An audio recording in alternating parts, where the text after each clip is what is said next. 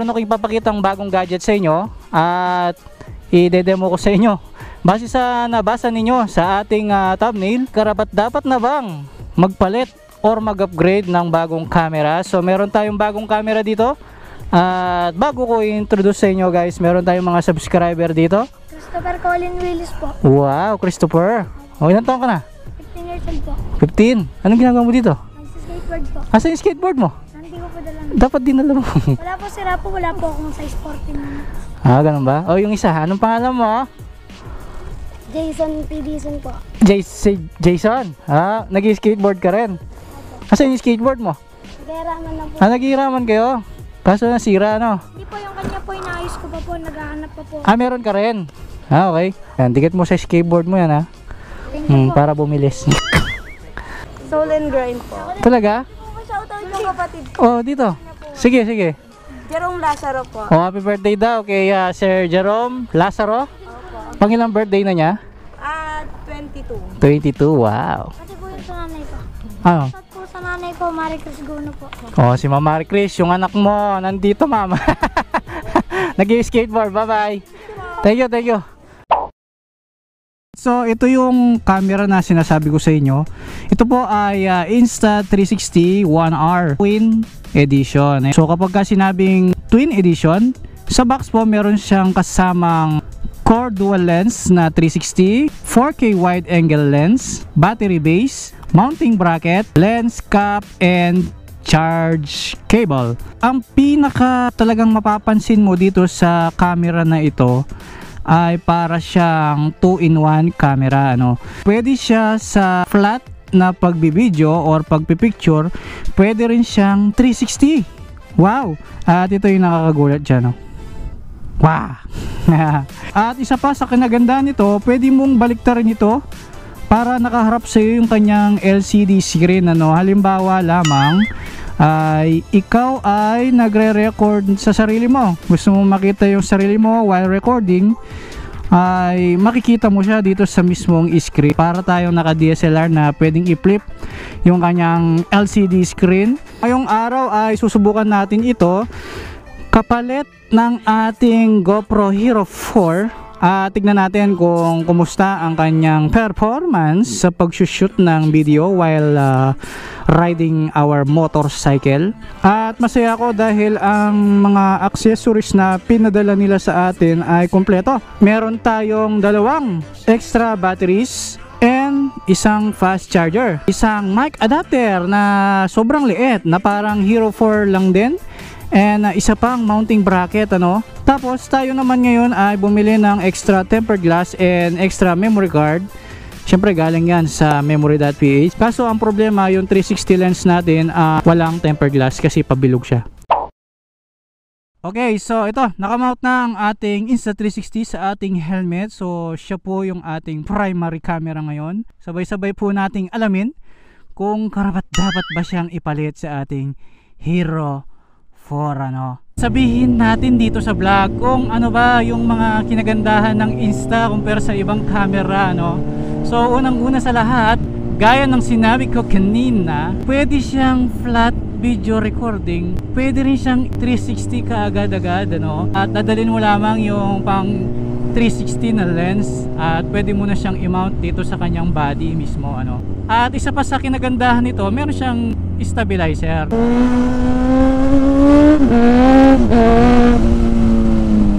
Tapos nakita nyo kanina medyo may kalakihan yung kanyang battery. So para sa akin feeling ko lang ha, feeling ko lang mas matagal ang kanyang battery life.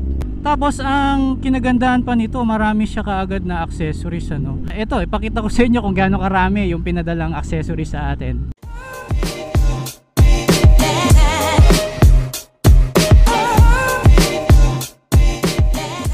Napaka-kumpleto ng ah, pinadala nila sa atin. But since tayo ay motovlogger, syempre yung mga accessories na pang motovlogging lamang ang gagamitin natin.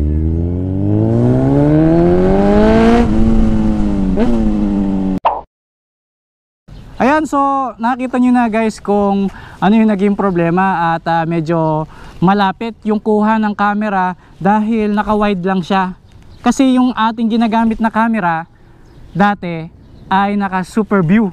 So kapag ka sinabing super view, sobrang lawak ng nasasakop ng ating camera. So kahit ah, hindi ka masyado gumalaw, nakikita yung gilid, yung ibaba, yung itaas. Unlike dito, ang naging problema ko bilang motovlogger ay naka-wide lamang siya. So kung nakikita nyo, nakatutok sa baba. Kasi hindi ko matansya guys eh. Kasi yung dati kong camera kahit nakaganyan siya, dahil super wide ang kanyang nakukuha, okay lang, sakop pa rin niya yung buong ano, kalsada. Unlike dun sa nakita nyo kanina, yung sinut natin kahapon, ayun, dun lang ako medyo nalungkot at medyo parang nasayang yung ating vlog dahil konti lang yung nakikita natin, ano guys? Pero pagdating sa audio, sa video stabilization at sa HD ng kuha natin, ayan, wala akong masabi sa camera na ito. Pero ganun pa man guys, maganda pa rin naman itong camera na ito. Pero para sa akin bilang motovlogger, magagamit ko siya as ah, yung ganito, yung selfie video. Ayan dahil nga pwede nating i-flip sa harap itong kanyang LCD or touchscreen. Speaking of LCD, ayun, medyo nalitan lang ako sa kanyang monitor. Pero kapag ka kinokontrol mo siya guys, eh very responsive naman no? Wala kang mararamdaman na parang naglalag siya. I mean pag pinress mo yung on and off sumusunod agad siya at pagka ini-scroll down and up mo and slide mabilis naman yung response niya. Ayan, so nag-shoot po tayo kahapon sa may tulay ng ah, Sacobia. At ah, dahil meron po tayong wireless mic kagaya ng naka-mount. At ito po yung wireless mic natin guys. At pagkatapos meron tayong isang ah, parang naka-cabled wire dito at microphone para dito nakatutok yung mic natin. So para tayong reporter kahapon ano. so yan. Um, sa mga interested naman po na makita kung magkano ito at kung ano yung meron sa kanya na kasama kapag binili mo pag brand new yung mga accessories niya. Ayan, pakicheck nyo lang po yung ating link dyan sa ating comment section. Ayan, at ah, makikita nyo po dyan kung paano umorder, yung mga price at ah, iba pang details dito sa Insta360 at bukod dito marami pa silang available na camera. So soon itetest natin yung kanyang ah, 360 camera. Maraming salamat at ah, medyo nakulangan na ako ng konti sa video natin kahapon. But ah, ganun pa man ay ah, still maganda pa rin siya bilang pang ah, selfie video na camera no? so maraming salamat po Ay, kumusta? Doon tayo. Yung mga subscriber pala tayo dito sa loob.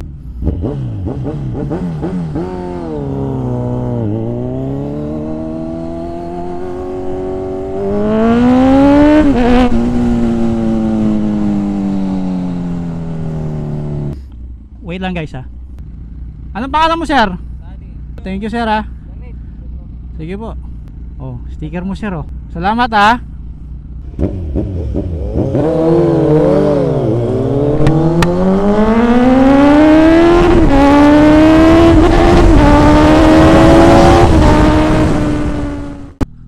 Ayos oh.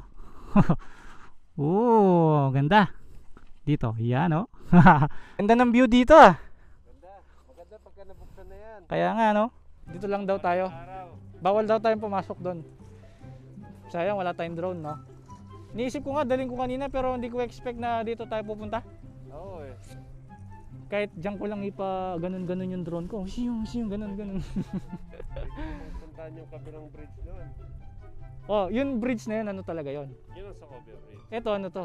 Socobia 2. Socobia Bridge 2. right, yan. At tinetest ko lang itong ah, Insta360 at ah, mukhang okay naman siya.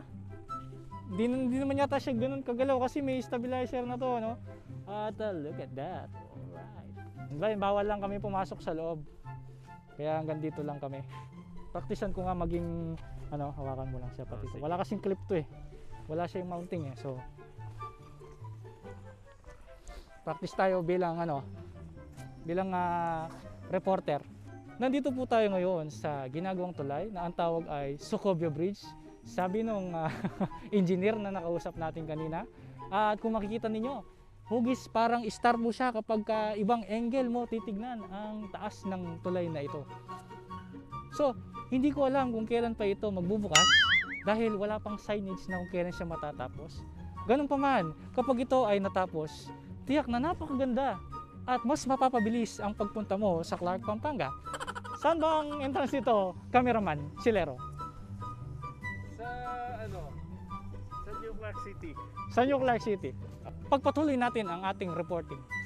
So dito po sa tulay na ito, makikita nyo, meron siyang daanan pang tao at pwede ring daanan ng bisikleta.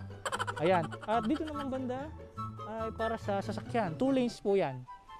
Ayan. So next time, sa susunod na pagbabalik po natin dito, sana ay tapos na at para madaanan na po natin siya. Back to you, Silero. Kaibigan, no?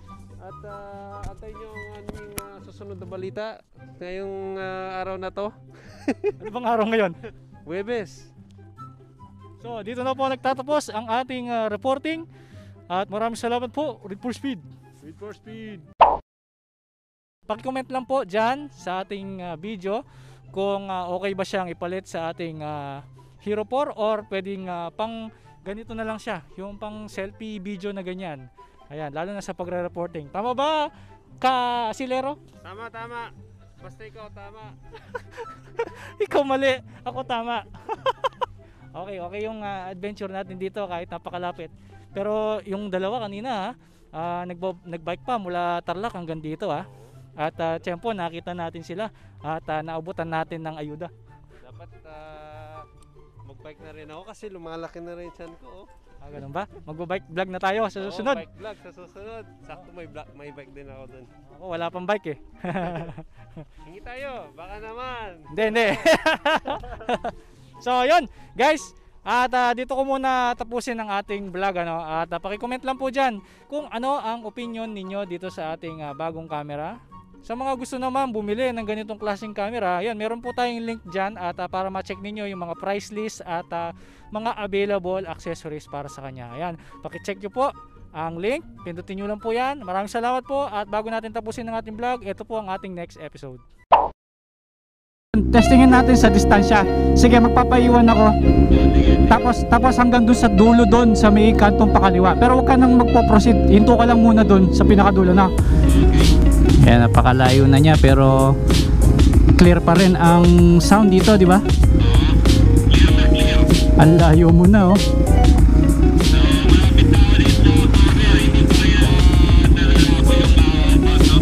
Oo. Tama ka, JD Manigad.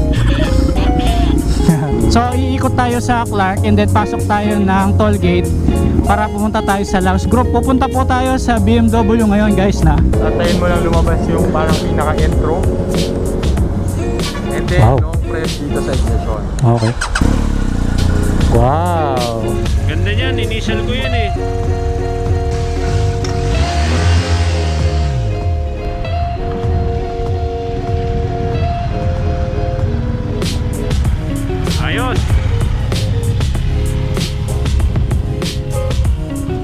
Ganda. Tsaka ang gaan niyang i-drive tapos ang wide ng manubela niya talagang control na control mong ganyan no.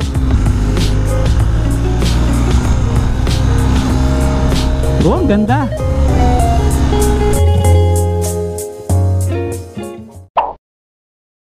Right guys, maraming salamat po. 1, 2, 3. Read for speed! Alright.